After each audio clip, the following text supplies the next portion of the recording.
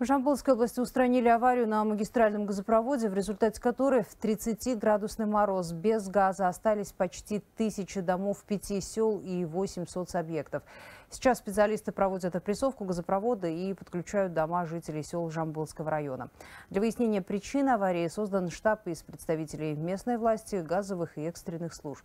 Анастасия Сулейманова расскажет подробнее.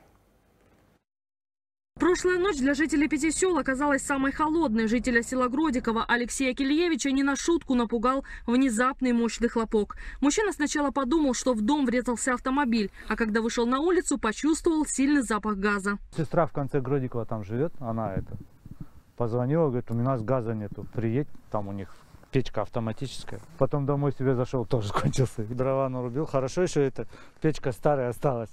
А если вот эти, которые навесные, тогда током электричеством и все. В такой же ситуации оказались почти тысячу абонентов пяти сел. В 30-градусный мороз сельчанам пришлось спасаться от холода обогревателями, а 8 социальных объектов подключали к резервному источнику тепла. Аварию на магистральном газопроводе уже устранили. По словам специалистов газовой службы, причинами порыва послужили низкая температура и осадки. Этот газопровод среднего давления был расположен на поливных землях крестьянских хозяйств, частных домов.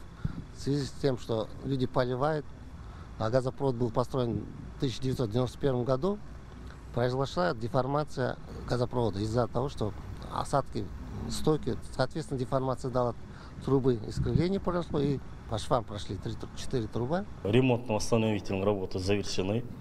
Проводится продувка, то есть пневмоиспытание газопровода. А далее э, будет подано газ с давлением до 4 атмосфер.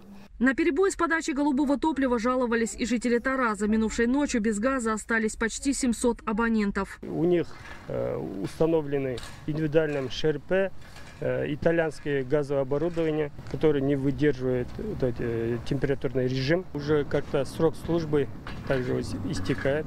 Ремонтные работы по подключению домов к газу продолжаются. Устранить все неполадки, в том числе и в селах, намерены сегодня. Даже если придется работать допоздна, заверили специалисты. Анастасия Сулейманова, Бахаджан Папаев, Эльдар Байдельда, Жамбылская область, 24 КЗ.